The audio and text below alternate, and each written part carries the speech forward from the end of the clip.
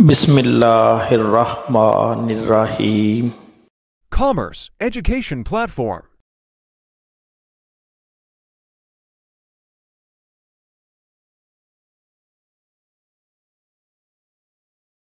First year के pre board exam के paper check करते हुए एक बच्चे का पेपर देखा जिसमें उसने ऐसे टिक किया हुआ था उसकी इस गलती को देखकर जहन में ख्याल आया कि वीडियो लेक्चर के ज़रिए तमाम तलबा की रहनमाई की जाए।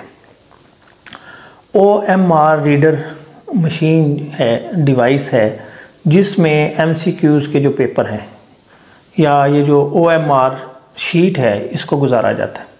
जो स्कैनर है, वो जो भी निशान लगा होगा, जो मार्क लगा होगा, उसको रीड करता है और उसी के मुताबिक नंबरिंग कर देता है। जिस मार्क को मशीन रीड ना कर सके, वो गलत हो जाता है, यानी उसका कोई नंबर नहीं दिया जाता। इसलिए ज़रूरी है कि ये जो भी आप मार्क लगाएँ, यानी जिस भी दायरे को सर्कल करें, प्रॉपर वे में करें, ताकि आपका नंबर जो है वो ज़ाया ना ओ एम आर शीट पर इस तरह दायरे लगे होते हैं।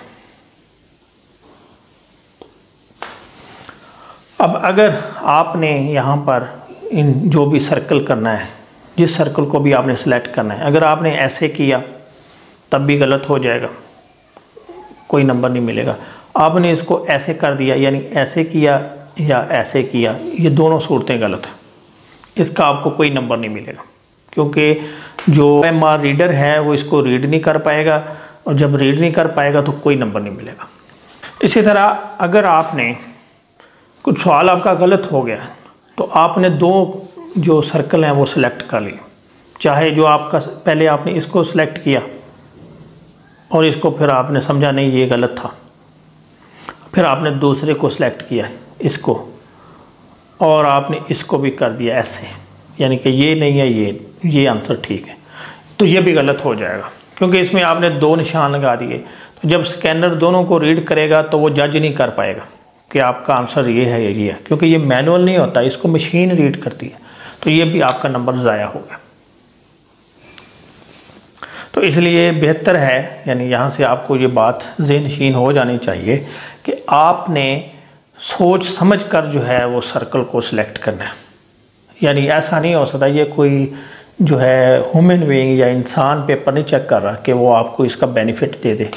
ये मशीन है, मशीन को जो जो इंस्ट्रक्शन दी जाती हैं वो उसी के मुताबिक ही अमल करता सर्कल को फिल करने का सही तरीका क्या उसमें आपने क्या करना है? इस दायरे को, जो भी दायरा आपके ख्याल में, जो आंसर ठीक है, उसके सामने जो दायरा लगा हुआ है, उसको पूरी तरह फिल कर देना।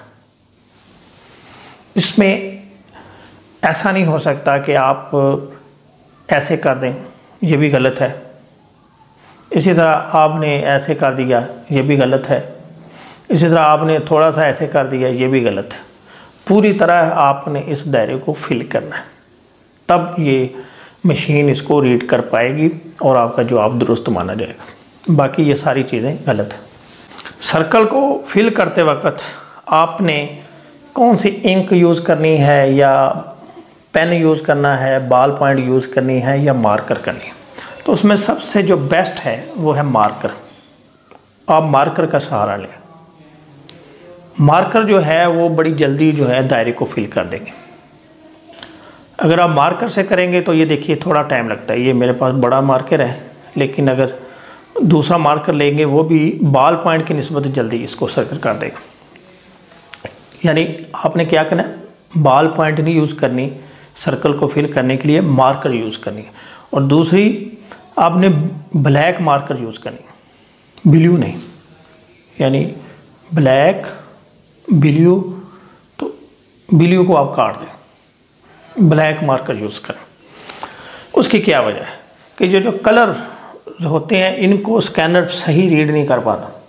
ब्लैक कलर को आसानी से रीड कर लेता कभी आप फ़ोटो कापी करवा के देखें, एक जो उस पर राइटिंग है, वो नीले रंग से हो और दूसरे पेज पे आप उस राइटिंग ब्लैक से हो तो जो ब्लैक फ़ोटोकॉपी होगी, ब्लैक पेज से, वो सही फ़ोटोकॉपी होगी, क्लियर होगी, बजाय या नस्बता नीली मार्कर के नीली मार्कर की फ़ोटोकॉपी और इसकी फ़ोटोकॉपी को आप देख ले, दोनों में आपको फ़र्क नज़र आएगा। आपने क्या करना है कि क्वेश्चन वन से स्टार्ट करना है और क्वेश्चन जो भी लास्ट होगा ट्वेंटी क्वेश्चन हैं या फिफ्टीन क्वेश्चन हैं, आपने उसको पढ़ना शुरू कर देना। सबसे पहले आपने जो क्वेश्चंस बिल्कुल 100 परसेंट आपको आते हैं, सही है आप उसके बारे में श्योर हैं, उनको सॉल्व करें। सॉल्व करते जाएँ। क्वेश्चन पकड़ें, पढ़ते जाएँ, जो आता है उसको सर्कल करते जाएँ, उस सर्कल को सिलेक्ट करते जाएँ, जो भी है। वन से लेकर ट्वेंटी तक जाएँ। इसमें जो मैटर करता है टाइम है। टाइम आपके लिए बहुत इम्पोर्टेंट तो आपने टाइम को बचाना है किसी तरीके से, क्योंकि ये जो हिस्सा होगा, ये आपसे वापस ले लिया जाता है। ये आपके पास नहीं रहता। जैसे ही इसका टाइम ख़त्म होगा, ये आपसे आंसर शीट वापस ले ली जाएगी इसमें होता ये है कि जितने क्वेश्चन हैं, पंद्रह एम सी क्यूज़ हैं तो उसके लिए बीस मिनट दिए जाते हैं। अगर बीस एम सी क्यूज़ हैं तो उसके लिए पच्चीस मिनट दिए जाते हैं। तो टाइम बड़ा है, मैं, आप क्या करें क्वेश्चन वन से स्टार्ट करें, जो आते हैं, करते जाएँ, फटाफट उसको टिक करें एंड तक चले जाएँ। ये हो गए आपके जो हंड्रेड परसेंट छोड़। पीछे आपको मैंने बताया है कि अगर आपसे आंसर गलत हो गया, फिर आपको याद आया कि नहीं, ये सही आंसर है तो फिर उसके जो है मार्क्स आपको नहीं मिलेंगे, वो ज़ाया हो जाएगा। क्योंकि आपको फिर दो जो सर्कल हैं फिल करने पड़ेंगे, और जब दो हो जाएँगे तो फिर जो स्कैनर है वो रीड नहीं कर पाएगा। इसलिए बड़ी एहतियात करनी है कि कोई भी जिसके बारे में डाउट हो, उसको वक्ती तौर पर छोड़ दें। पहले जो सही आते हैं, उनको फिल करें। जब ये हो जाएगा इसके बाद फिर आपने क्या करना है कि जो जो आपको, जिनके बारे में डाउट है, उन पर फोकस करें। और लास्ट में जो आपको नहीं आते, उनको फिल कर दें। यहाँ पर एक पॉइंट है कि इसमें नेगेटिव मार्किंग नहीं होती। नेगेटिव मार्किंग नहीं है। आप क्या करें कि तमाम एम को फिल कर दें। कोई भी ना छोड़ें। ऑल एम सेलेक्ट करने हैं। आपने कोई खाली नहीं छोड़ना। एग्ज़ाम में नेगेटिव मार्किंग नहीं होती। कोई जॉब टेस्ट होते हैं, जहाँ पर नेगेटिव मार्किंग होती है, वहाँ पर आप केयरफुल रहें। लेकिन अगर नेगेटिव मार्किंग नहीं है तो आपने कोई भी जो है आंसर खाली नहीं छोड़ना। सब करने वन टू आल लेकिन पहले जो अच्छी तरह आते हैं, वो करें। इसके बाद छोड़ दें। और जब आपके 20 मिनट पूरे होने वाले हों तो जो आपके सर्कल रह जाएँगे, उनको आपने फिल कर देना। यहाँ भी आपको बताता चलो नेगेटिव मार्किंग अगर सपोज़ नेगेटिव मार्किंग है भी तो ये लोगों को एक मिसकंसेप्शन है, ये चांस लेने वाली बात है। इसमें होता क्या है कि पॉइंट टू फाइव यानी एक नंबर का अगर वो एम सी क्यू है तो अगर नेगेटिव मार्किंग है तो उसमें नॉर्मली ये रेशो रखी जाती है पॉइंट टू फाइव कट जाएँगे। अब आपके चार एमसीक्यू खाली पड़े हैं। तो हर एक का एक एक नंबर है। तो चार नंबर आप छोड़ देती हैं खाली तो ज़ाया हो जाएँगे। फोर मार्क्स अब इधर जाइए अगर इनमें से आपने चारों तुक्के लगाए गैस किया, चारों ही गलत हो गए तो आपके कितने नंबर कटे? एक नंबर कटा। दूसरी तरफ़ देखें कि अगर इन चार में से दो आपने ठीक, तुक्के लगाए तो दो ठीक हो गए, दो नंबर। और इधर आपने ये दो गलत हो गए तो इनके नंबर कितने कट गए? Point five. तो क्या हुआ कि आपको दो में से फिर भी जो है ना, डेढ़ नंबर का बेनिफिट तो मिल गया। यानी नेगेटिव मार्किंग जहाँ हो वहाँ पर स्टूडेंट्स या जो जॉब के लिए टेस्ट देते हैं, घबराते हैं कि नहीं जी, ये नेगेटिव मार्किंग है। लेकिन देखें, ये भी चांस लेने के मुतरफ है। आप चांस लें उन सवालों में जिनमें आपको शोर है कि ये ये हो सकता है तो वहाँ पे ज़रूर गैस करें, इससे ना डरें, क्योंकि अगर आपको एक नंबर पूरा मिल जाता है, ठीक है, और दूसरी तरफ़ अगर आपके ये नंबर ज़ाया हो जाते हैं तो फिर भी आप बेनिफिट में रहें।